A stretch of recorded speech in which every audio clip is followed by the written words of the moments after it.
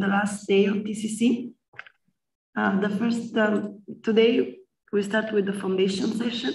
And the first talk is on de-randomizing Yao's weak to strong one-way functions. And uh, this is a joint work of Chris Brzuska, uh, Geoffrey Pihla, and Felix. And Pihla will give the talk. Thank you for the introduction. So I'm Pihla, Karanko, and I'm going to talk about de-randomizing Yao's weak to strong one-way function construction. And uh, uh, as uh, we were presented, uh, this was a joint work with Chris Brzuska, Geoffroy Couteau, and Felix Horta. Uh, at least Chris is also here in the Zoom, so he can help me if you ask difficult questions in the end. Uh, all right. So we say that f is a weak one-way function if it can be inverted with probability at most 1 minus 1 over p of n for some polynomial p. And we say that g is a strong one-way function if the inversion probability is negligible. So this is the usual definition of one-way function. Now, the theorem by Yao says that if f is a weak one-way function, then this g that takes some long input, x1 to xn times p of n, where this p uh, is from the weak one-way function definition, then this g feeds these x's into the weak one-way function and outputs the results. This g is a strong one-way function. Now, we are interested in whether we could have shorter input to g. That is, if you have the Yao construction here, uh, could you add some pre-processing function such that it makes the input to G shorter? In particular, if the input to the weak one-way function is of length m, and this x is of length n, could we have n equal to some constant times m? Now, the result of our paper is negative. That is, there is no pre-processing with input length less than some constant times p of m. So the input here must be at least order of this polynomial. More precisely, we show that you cannot prove that such a short input g is a strong one-way function. And what proves we rule out exactly? We rule out a big class of relativizing black box proofs and our proof uh, is by oracle separation. So first, we have a p-space oracle to get rid of all possibly already existing randomness, uh, existing hardness. And then as the weak one-way function, we have a special random oracle that can be inverted on one minus one over p fraction of random outputs. And then we show that this kind of short input G can be inverted with non-negligible probability. The adversary against this G works as follows. So it inverts each of these Ys one by one, and it is successful in roughly this fraction of the F calls. So the adversary learns all but uh, this polynomial fraction of the xi's. And now the interesting part of our proof is to show that when you know almost all of these, then no matter what this pre-processing function is, uh, this x is easy to guess with the p-space oracle. Now, this looks a little bit like secret sharing you know many shares and you want to land a secret. Of course, in secret sharing, instead of this X, we would have some secret and the dealer's randomness. However, there is a result in secret sharing that says that the randomness and the secret together need to be long. So we were hopeful that you could prove an upper bound in our case as well. And indeed, we managed to prove that on average, average the hard xi's have little entropy conditioned that you know all the easy xi's, regardless of what this pre-processing is. This is because every xi cannot have a fresh bit of entropy from a short x. So when we choose a random subset of xi's, then the entropy is gone with high probability over the choice of the random subset. And then uh, when you know all of these, uh, it is very easy to get this X using the p-space oracle. I give the details of that proof in the long talk. And in the long video, I also discuss how this relates to other works. Um, thank you for listening. Any questions?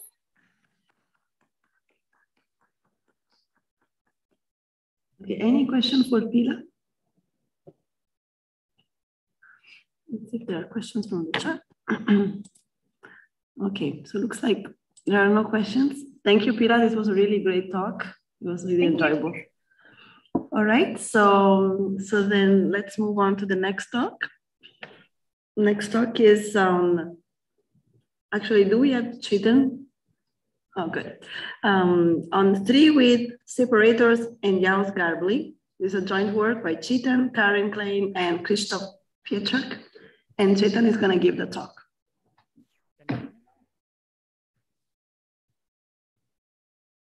Um, can you hear me? Mm, Chetan, we cannot hear you.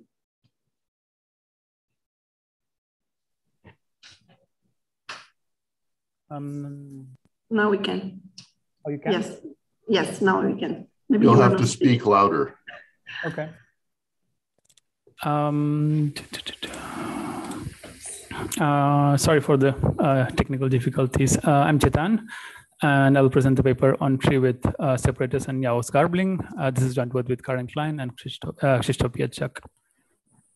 Um, our main result states that for, for the class of Boolean circuits of size S and tree width W, Yao's garbling, which we denote by gamma, is adaptively indistinguishable with a loss of security, which is exponential in the tree width uh, s to the O of W to be precise. Uh, so for concreteness, if one considers uh, Boolean circuits uh, that have constant uh, tree width, uh, we get adaptive indistinguishability with only polynomial loss.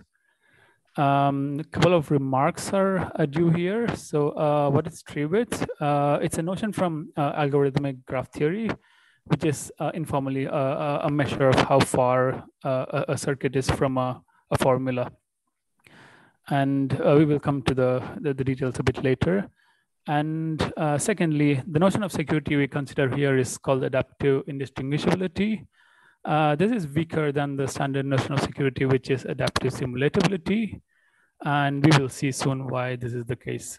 So adaptivity here refers to the fact that uh, the adversary uh, it can uh, select its input after the fact that it, uh, it has obtained the garbled circuit. Uh, so what was known about uh, security of Yao's garbling? Um, the selective security was established by Link, uh, Lindell and Pinkas, And this was, they showed that Yao is selectively simulatable, and this implies selective indistinguishability. And uh, this was followed by the work of Applebaum et al., uh, who proved a negative result. They ruled out uh, adaptive simulatability of, of Yao's garbling.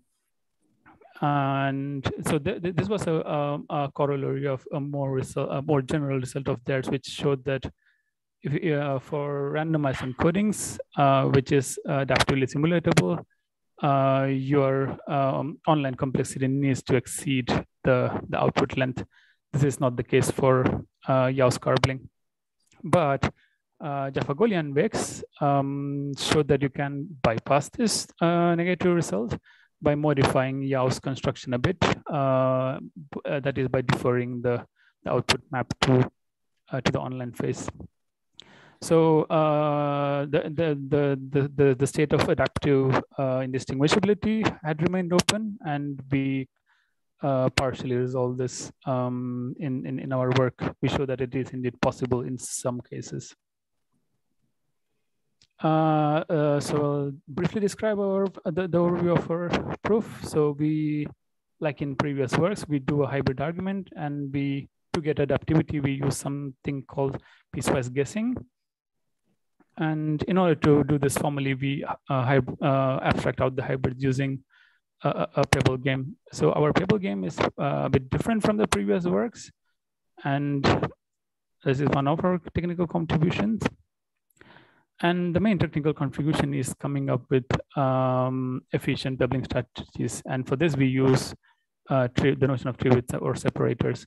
So, so what does this translate to? So uh, uh, pebbling strategies are, are, are, by the, the second step, they are kind of tightly related to the hybrids, the hybrid uh, argument, and, and coming up with more efficient pebbling strategies for some measure of efficiency. They translate into better hybrids for, for Yao's. Garbling.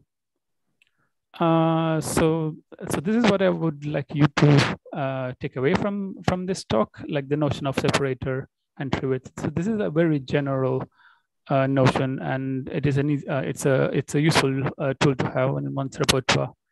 Uh, as to attribute this, width as as I already mentioned, it's a measure of how far a circuit is from a from a formula. For example, Boolean formula by definition have tree width one and what is a separator? Uh, a separator S for a circuit C is a subset of its gates such that removing this subset S and the incident wires, it, it decomposes uh, the circuit C into uh, sub-circuits which are of comparable size. So for example, in this figure on the left, you see a circuit C and the separator for it is shown in between the dashed lines. And when one removes the gates, uh, the, the, the circuit neatly decomposes into two subcircuits, C1 and C2, which don't have uh, connections between them. Uh, how are circuits, uh, how are separators connected uh, connected to uh, width? This is via a classical theorem of Robertson and Seymour. They showed that any circuit which is which has a width W has a separator of size which is upper bounded by W. Therefore, this is an existence theorem and how does one apply this uh, existence theorem? So, so on a very high level, what this allows is to do divide and conquer. Uh, this is the main reason is because uh, the notion of tree width is a is, is a monotonous property. So if you if you look at the sub uh, circuit of a cir circuit, the tree width can only decrease from its parent circuit. So what it allows you to do is you take the circuit C, you decompose it using a separator S, then you can keep on doing this process until you end up with small enough subcircuits. So if you are if, if you are trying to carry out some uh, thing for the whole circuit C, you can uh, divide the task into carrying it out for the subcircuits, uh, given you pay for the separator S. Uh, since uh, so the so since the the the the subcircuits that we get uh, is not too big, uh, the depth of this, this recursion is, is, is also is, is bounded by log of s. And moreover, the amount of resource one uses per step is also bounded by the uh, size of the separator. Therefore, if the separator is not too big, one ends up with a nice divide and conquer strategy, which helps uh, carry out whatever task one wants to. And that's all um, yeah, you can find more details about the talk um, uh, on the paper or can look at the, the, the full video. Thank you.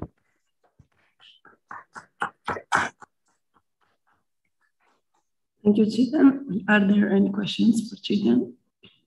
We have one question from the audience. And if you cannot hear, you can speak from that side. Oh, you can come here too, actually. Uh, hi, this is uh, just a simple question. Do both parties need to know the tree decomposition to um, do this garbling?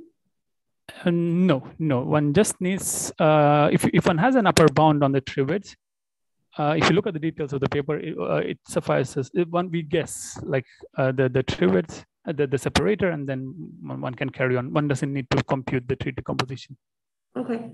And then uh, one more question, since we're already starting with circuits, so they're already, um, you know, DAGs, does that mean like in general, like the tree width tends to not be that big for most kinds of problems people would want to do?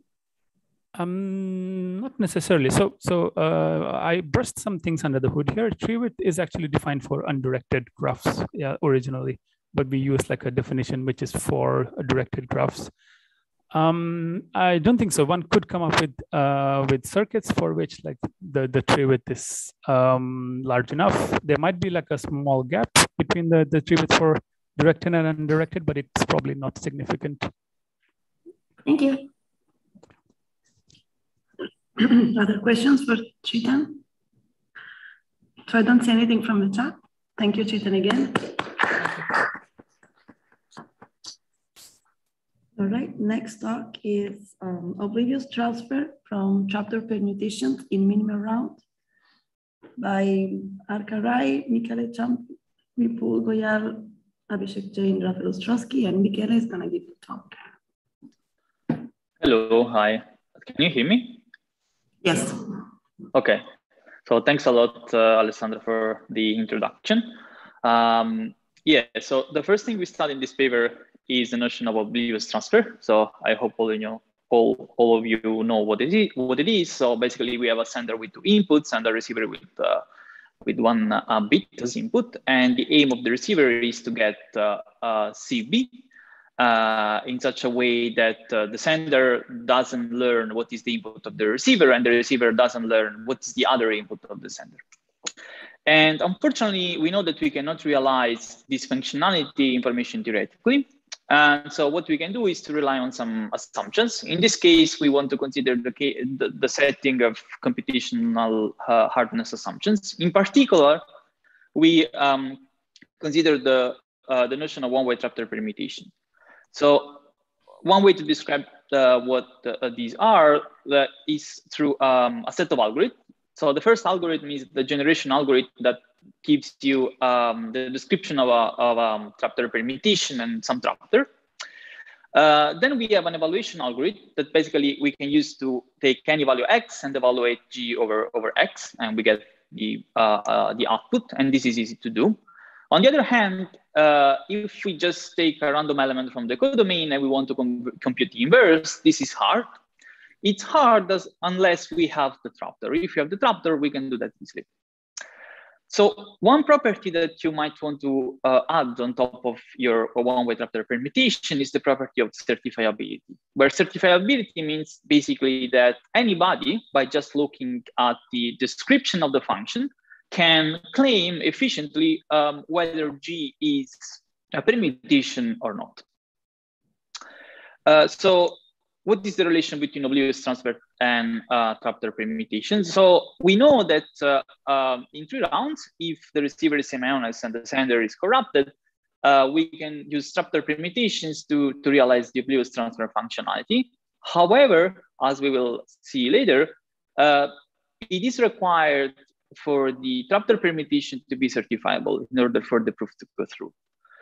And in a little work of uh, of 2004, the authors show that you can actually realize any functionality, but again, you need to rely on uh, certifiability of the trapdoor permutations.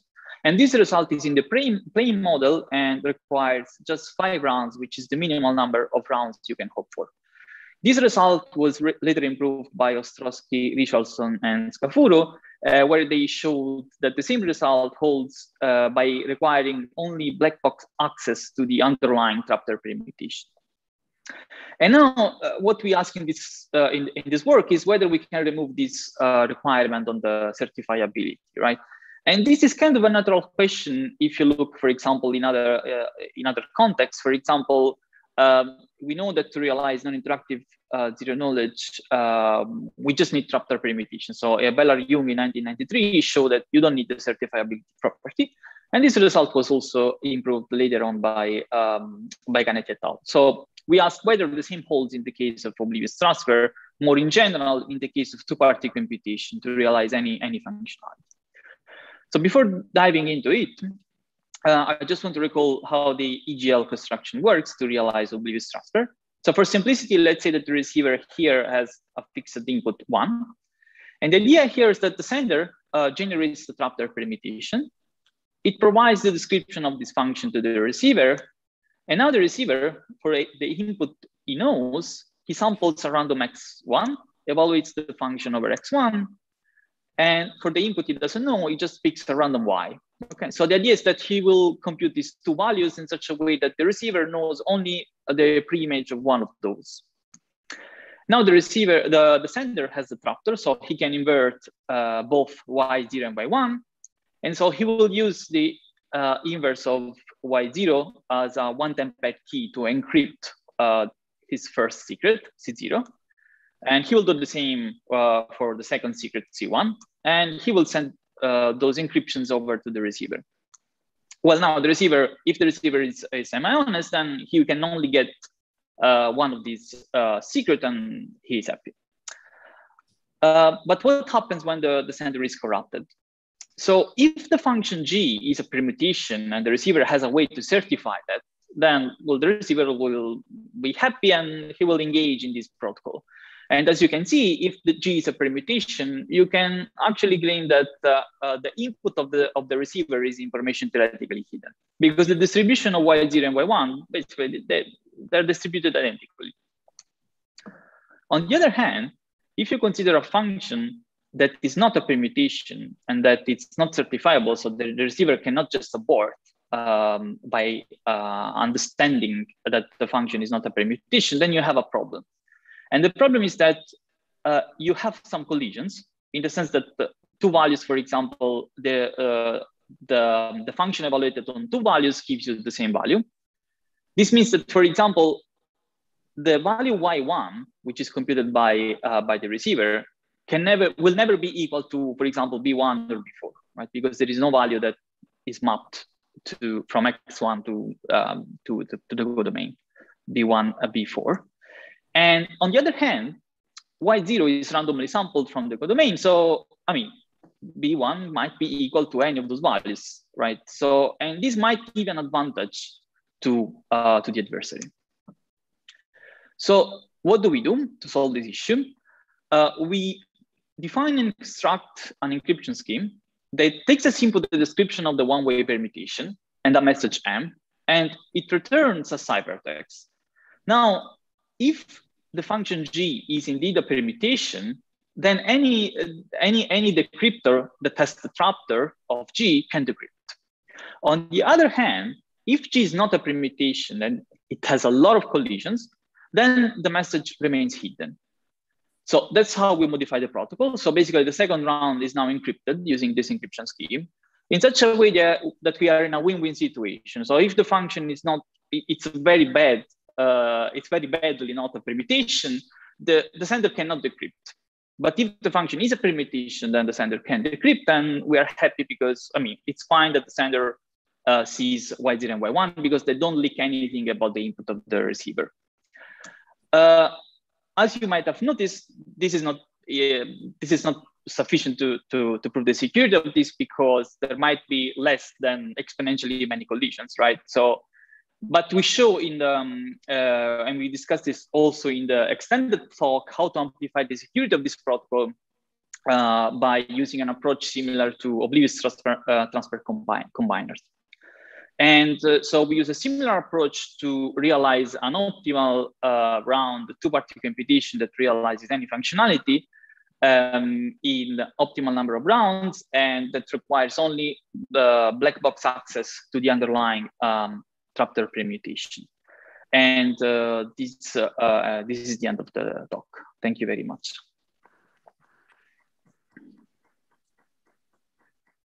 Thank you, Michele. Do we have any questions from the audience?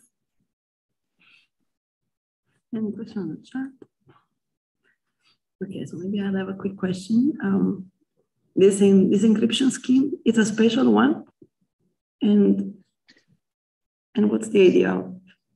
Yeah, so so what's the idea of the encryption scheme or what's the idea of the I guess um, how do you use the information about the trapdoor to decrypt or not decrypt?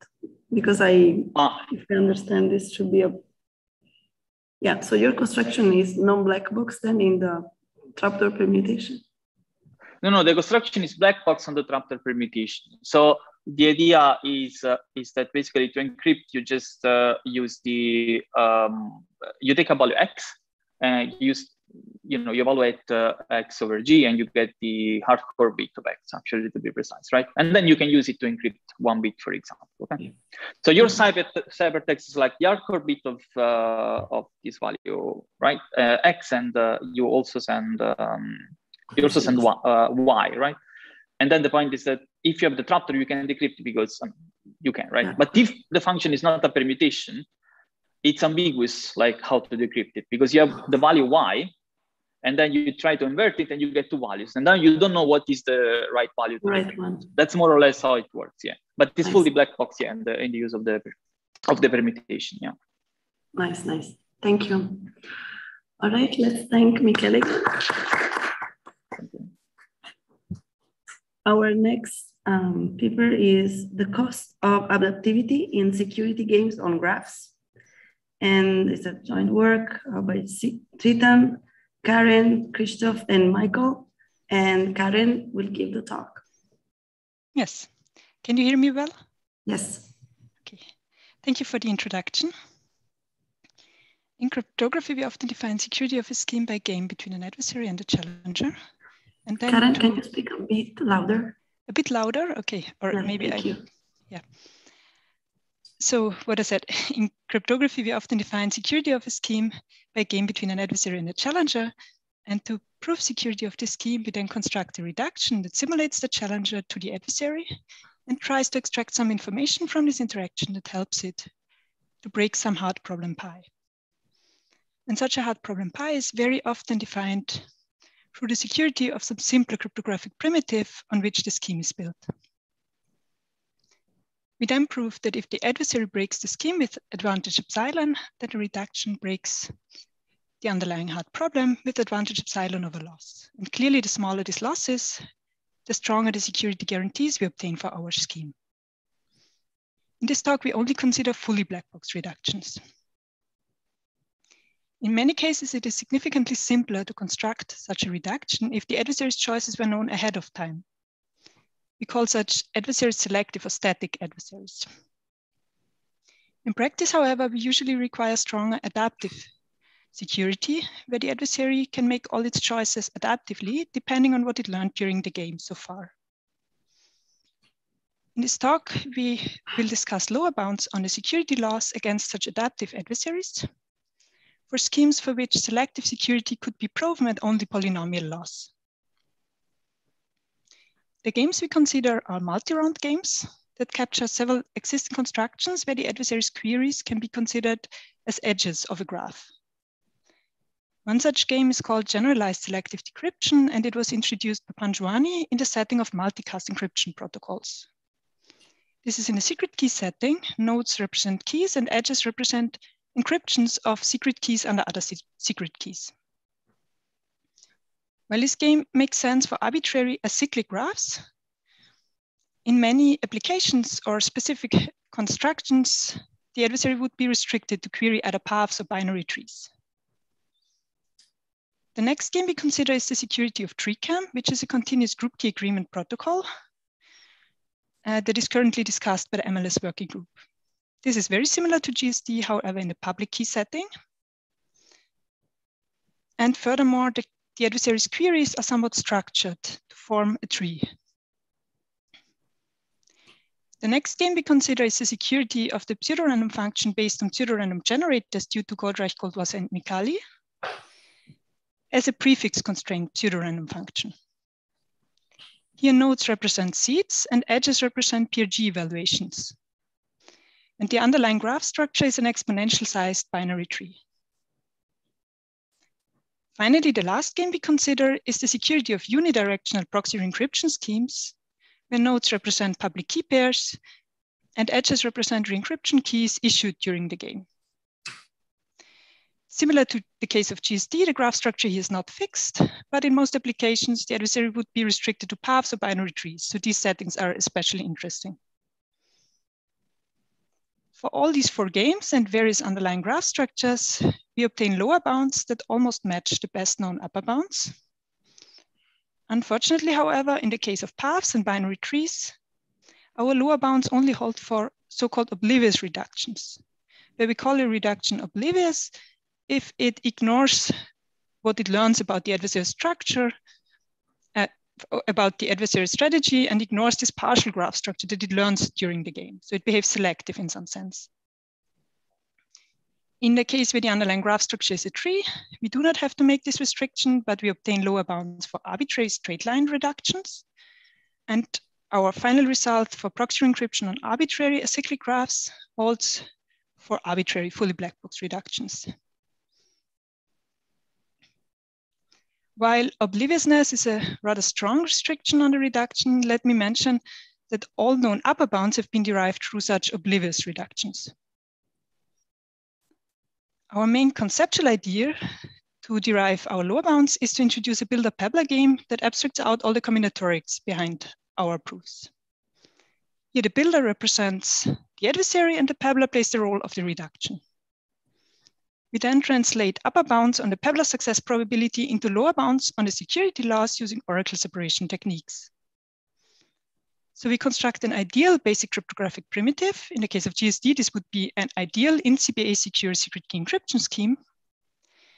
And we construct an inefficient adversary that simulates some builder strategy within the game and breaks the scheme by brute force breaking the underlying cryptographic primitive. Recall we consider black box fully black box reductions, so we can consider inefficient adversaries. And this fact that it can break the underlying primitive allows the adversary to map any pebbler, any reduction strategy into a pebbler strategy in the builder-pebbler game. Let me conclude with some open problems. First, can we strengthen our lower bounds to hold also for rewinding or non-oblivious reductions, or can we use these techniques to overcome our lower bounds? We call that only in the setting of proxy encryption on complete DAGs, we have a complete answer to these questions. Second, of course, it would be interesting to see which other multi-round games can be captured by our Builder Pebbler game. And finally, whether one can use our idea of translating pebbling lower bounds into lower bounds on the loss in adaptive security also in other settings, such as constant round games like ABE or garbling, where the entire graph structure is known in the first round. In the setting of Yao's specific construction for garbling? We know the answer is yes, as we showed at Crypto this year. However, we required very different techniques there. This let me thank you for your attention and I would be happy to answer any questions.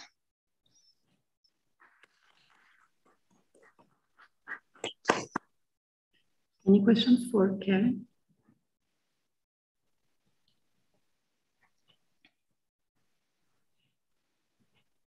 All right, looks like there are no questions in the chat.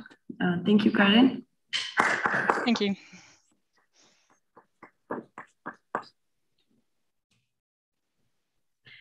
All right, so next talk is on concurrent composition of differential privacy by Salil Vadhan and Tianhao Wang.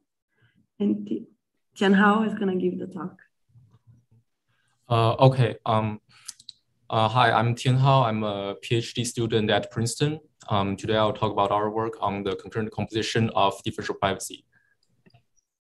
Um, so differential privacy is a dominant privacy notion nowadays. Um, the main idea of differential privacy is to carefully randomize the algorithm um, so that its output does not depend too much on any single individual in the dataset.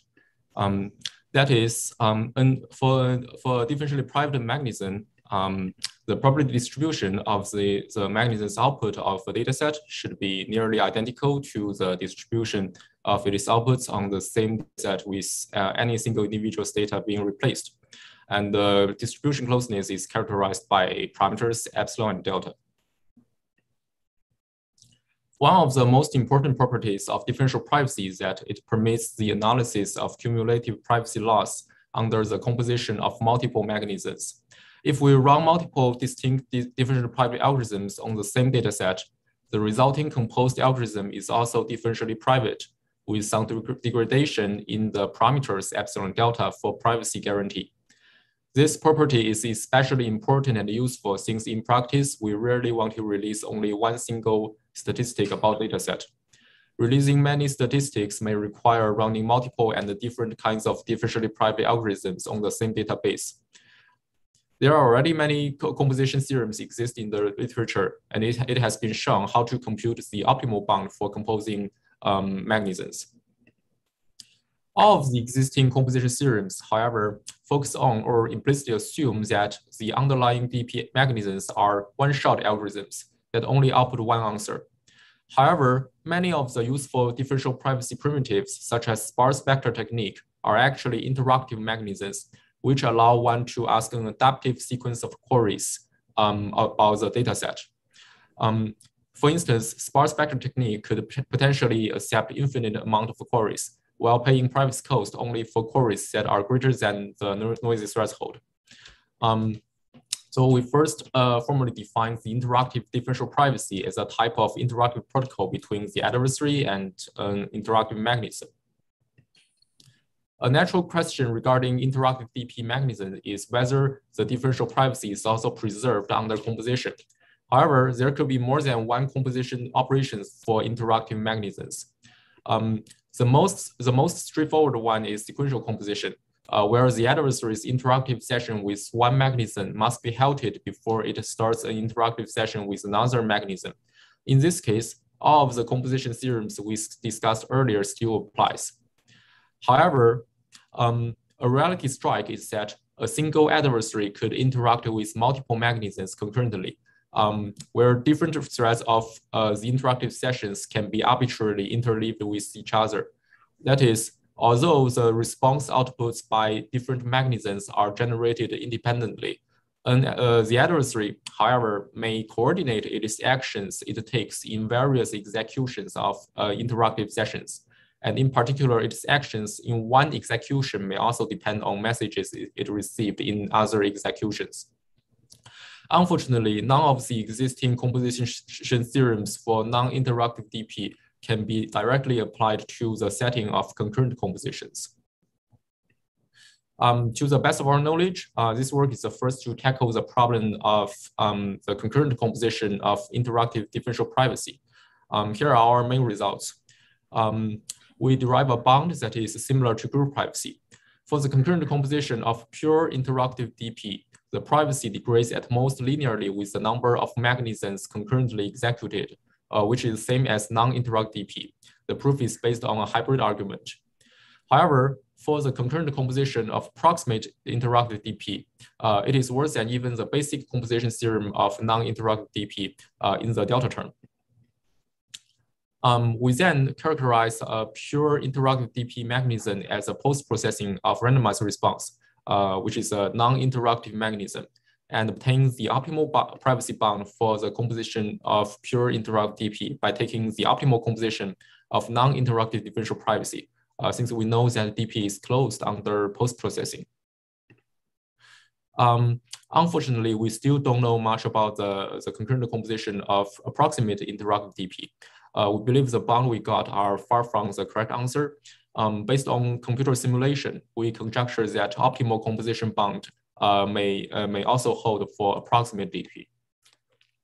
Yeah, thank you.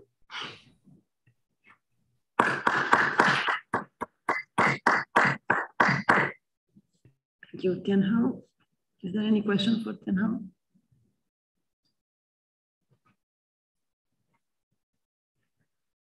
Okay, so we have no questions from the chat. All right, thank you, Tianhao, again.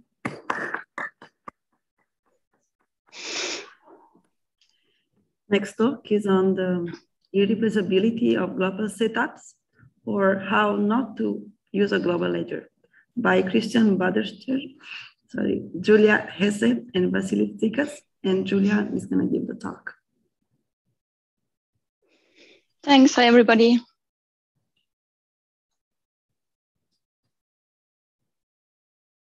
Okay, can you see the? You'll actually need to, um, under display settings up at the top, you will need to, I think it says reverse display.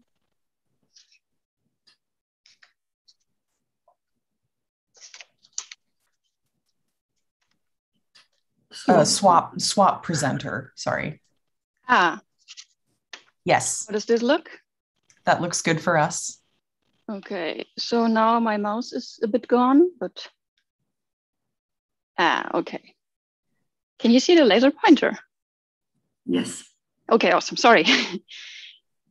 okay, so hey everybody. Um, this paper is about uh, pitfalls in analyzing the security of protocols that run in concurrent systems. So let's assume we uh, want to capture the security of a protocol run between uh, Alice and Carol that requires some sort of uh, protocol setup. Uh, for example, such as a public key infrastructure. Uh, in our work, we focus on setups that are modeled as uh, global, meaning that these setups are not exclusively available to um, this one protocol instance, but it can be they can be accessed by other protocols uh, as well.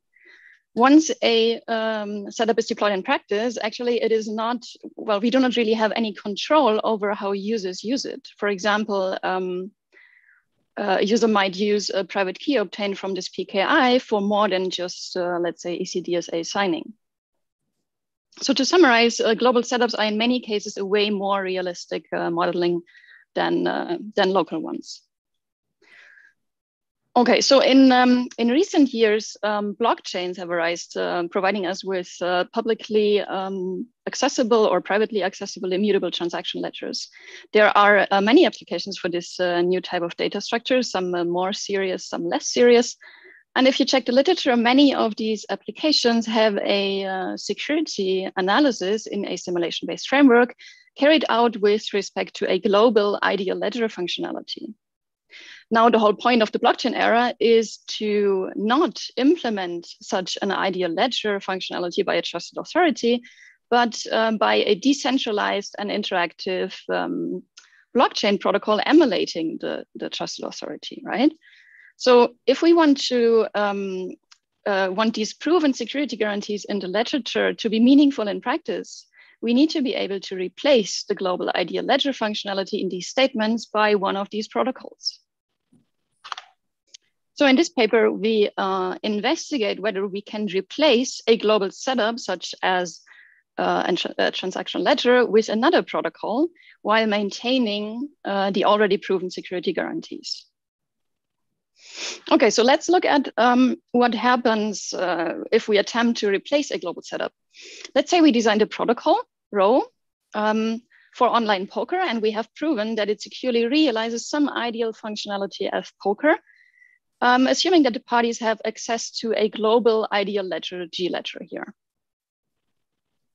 If we now replace the ideal ledger by the Bitcoin blockchain, um, for example, in our security statement, the following nasty thing happens. I want you to look at the, the um, interface of the simulator here in the ideal world. We see that the interface um, changes from the one at, at the, the G ledger functionality to the one at the Bitcoin protocol, right?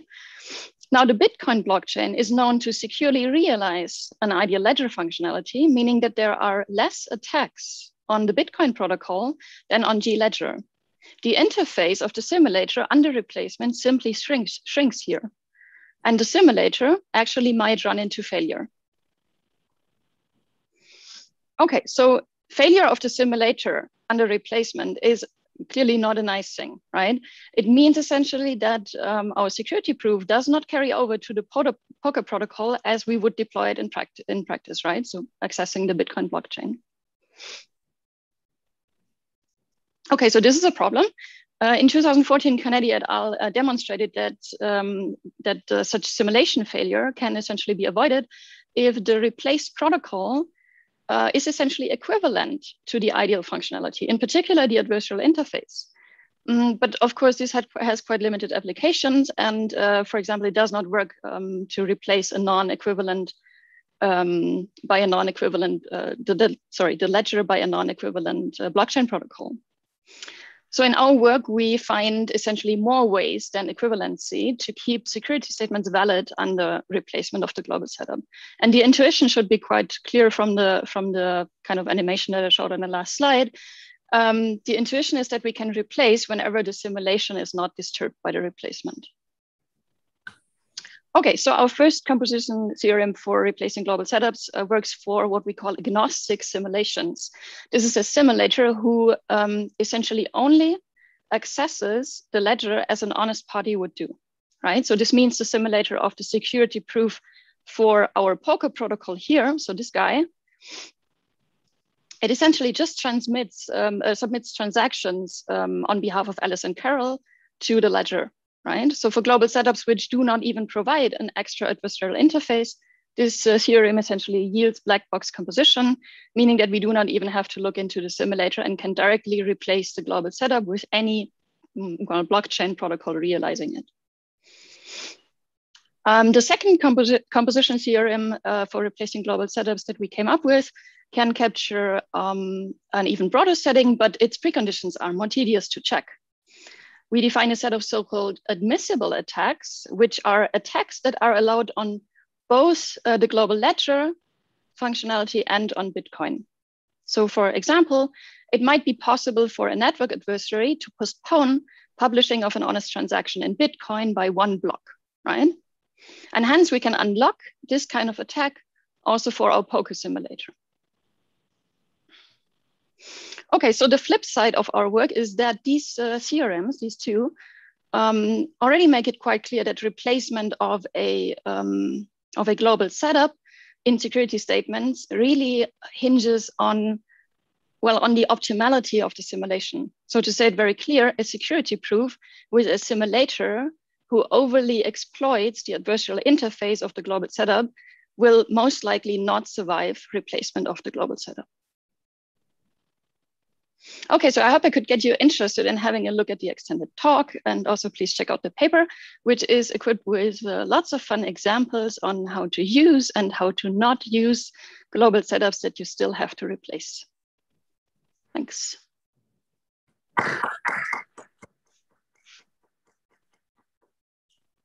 Um, Thank you, Julia.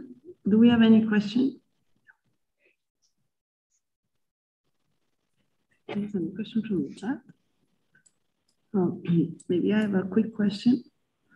So, so would you say there is a way to define the global ledger that is um, safe, so that will work for any that such that the simulator cannot exploit it, whatever that means? That's a, that's a very good question, and I mean that's a question that we ask ourselves. Um, the thing is that you have there's another side to um, Mm, to what I just said, because you also need to prove that the Bitcoin protocol realizes that ledger, right? And you don't want this uh, ideal ledger functionality to be really close to the Bitcoin protocol because otherwise it will get like extremely long, right? So you want this ideal ledger functionality to be some abstraction of the Bitcoin protocol, meaning that you need to allow the adversary, for example, to do some reordering, right? So it's always, there's always these two sides. So on the one hand, we want to simplify the proof of a secure realization of the ideal ledger.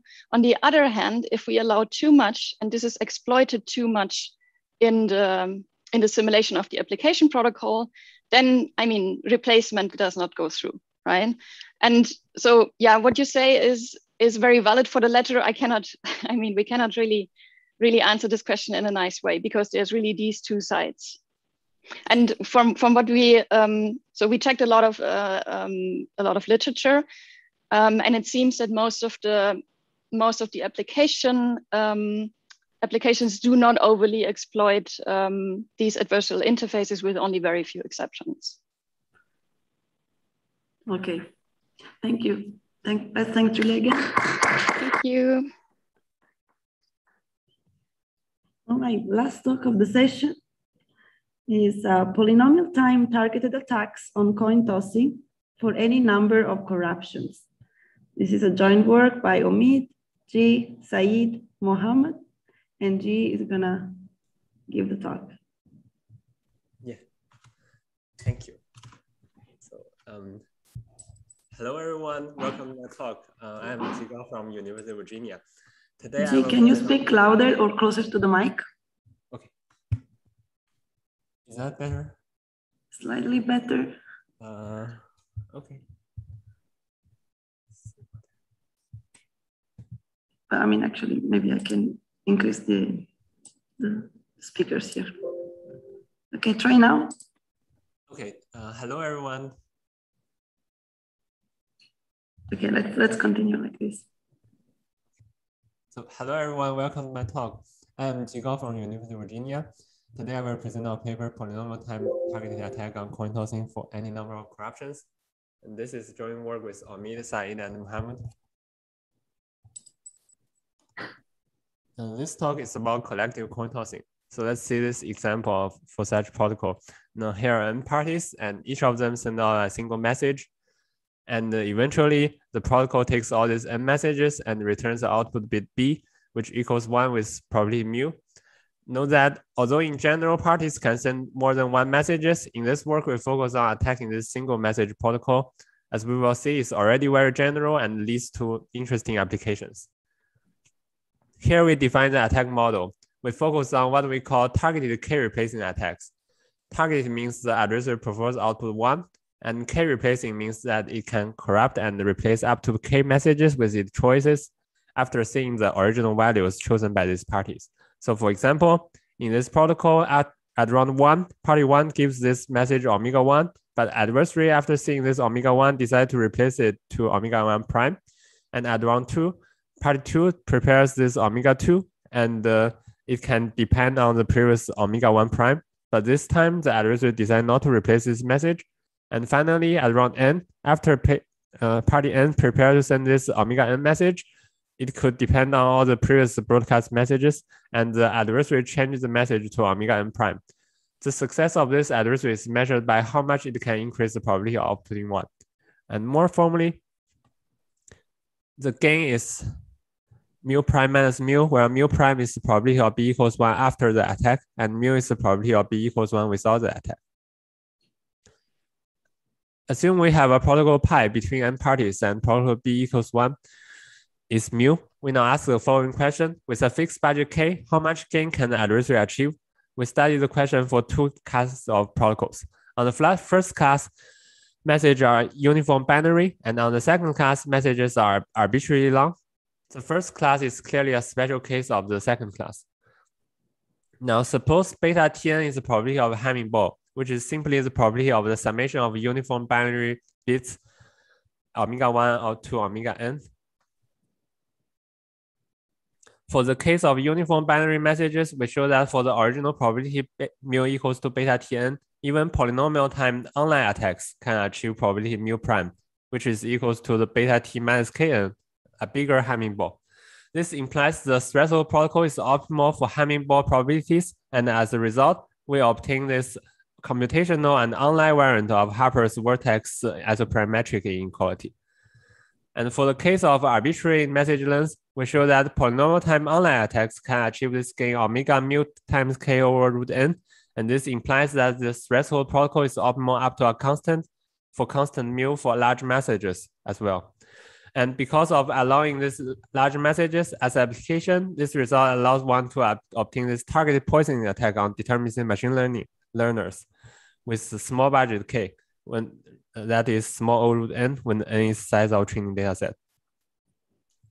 And for the case of uniform binary messages, as a related work, this Lichtenstein et al. 1989 paper show that the threshold functions are optimal for a weaker adversary model in which the adversary cannot see the message before deci deciding to make these changes. Um, their attack is not polynomial time. For arbitrary messages, a series of work starting with uh, Kalai et al. show that uh, how to obtain polynomial time attacks using large budget, which well by large we mean that this k equals to omega root n.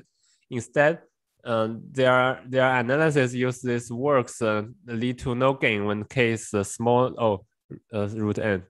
However, note that uh, here we want to understand optimal attacks for every possible k. We now describe some ideas between uh sorry we now de describe some idea behind the proofs of our two results, starting with the case of uniform binary messages. Now we describe our first result in more details. Uh, suppose the messages are all uniformly binary. Consider this T threshold protocol in which parties let this output bit B to be one if the sum of the bits is larger than T. Consider a more powerful attack, which we call offline. So it wait to say all the messages and then make replacement. It is easy to see such attacks can increase the probability of the output one to a larger Hamming ball. And Harper's vertex isoperimetric inequality show that one can always achieve the same gain when the probability b equals one is the probability of Hamming ball. our first result is to improve this classical result to show that uh, the same can be achieved even if the attack is limited to be online. So it cannot see the future bits and runs in the polynomial time. To, to get uh, some more details of this proof, here's a figure of the different adversary gain for n equals to 10. In this figure, x-axis is the mu value that ranges from 0 to 1, and the y-axis is the adversary's maximum gain that it can achieve for every protocol for given mu. The blue curve is the maximum gain for the online adversary, which we want to bound. The red curve is the maximum gain of the offline adversary, which is basically the isoperimetric bound. We know that the blue curve is always below the red curve, but we don't know how much. Observe that somehow magically at this exact Hamming-Ball probability, what we prove is always the case. To do so, we connect these points on this red curve that correspond to the exact Hamming-Ball probabilities using these straight lines. This gives a piecewise linear function L, which we prove to be a lower bound on the blue curve as well. Doing so means that this red and blue curve will have the same uh, result on this Hamming-Ball probabilities. And to prove that, this L curve is indeed a lower bound, uh, we use this induction on N, and the induction crucially relies on the concavity of this L function, our high-level approach here is inspired by recent work of Khorasgani et al., but actual induction step is quite different. Now we go over ideas behind our attack in, for the case for arbitrary length messages. Suppose at round i, arbit uh, adversary is given this message uh, omega 1 to omega i minus 1 and current message omega i, and the adversary want to decide whether to replace this omega i or not. Basically, we use this additive game adversary that is similar to this attack in MM out 19 paper, which makes this replacement when the current additive gain is large. That namely, at this message omega i, let alpha be the probability before the attack of uh, uh, b equals 1, and alpha prime be the maximum pro possible probability of b equals 1 by replacing this omega i to any other message omega i star at this step. So if this alpha prime minus alpha larger or equal to lambda, the adversary replace this omega i to omega i star. This paper has proved that the attacks start to gain when k is large. There's also a multiplicative, multiplicative gain adversary from Etesami et al. Soda paper that gives this even shorter bound using this multiplicative gain adversary. However, what we want is to have an attack works for any k, and that's not provided by these two papers. Here we show that this additive gain adversary, as opposed to this multiplicative variant of this attack, can lead to a good gain even if we cut this attack for any number k. We prove this result by using this reduction uh, induction on this k. All we need to do is to gain the k case replacement. In summary, we show that either this happen or something is even better happens. So if the case replacement happens, adversary gains lambda. So this is only true for additive attacks. So if the case replacement does not happen, it means the budget of adversary is not fully used then the output will be indistinguishable for another attack which has even bet even larger budget, maybe infinity budget, and of course it's an extremely strong one. So it's a win-win situation for the adversary. So we summarize our findings in the conclusion. For the uniform binary protocols, threshold protocol is optimal for online and offline K replacing attacks and for any K. And this result can be viewed as a computational version of Harper's vertex isoperimetric inequality. And for protocols with any message length, the majority protocol is still optimal up to a constant factor. This result can be applied to obtain generic targeted poisoning attacks on machine learners with small budget. Thank you. I appreciate any questions and comments from you.